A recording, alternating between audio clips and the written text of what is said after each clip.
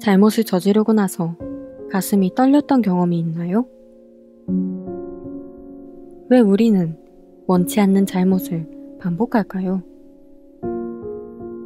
그리고 이럴 때 우리는 어떻게 행동해야 할까요? 오늘 말씀을 통해 살펴보겠습니다. 어느 날 저녁, 다윗이 궁전 옥상을 거닐고 있었습니다. 그런데 거기서 한 여인이 목욕하는 모습을 보고는 그 여인을 데려와 간음죄를 범하였습니다. 그 여인의 이름은 바세바로 다윗의 장수 중 한 명이었던 우리아의 아내였습니다.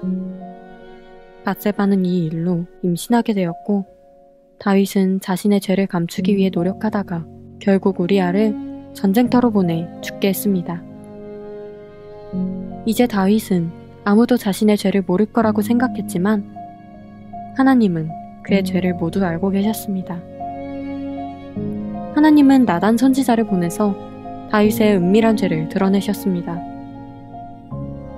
다윗은 하나님의 말씀 앞에 어떻게 반응했을까요?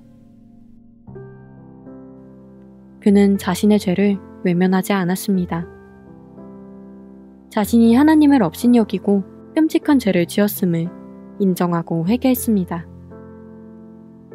다윗이 나단에게 이르되 내가 여호와께 죄를 범하였노라 하매 나단이 다윗에게 말하되 여호와께서도 당신의 죄를 사하셨나니 당신이 죽지 아니하려니와 이 일로 바세바가 낳은 아이는 죽게 되었지만 하나님은 회개한 다윗을 용서하셨습니다.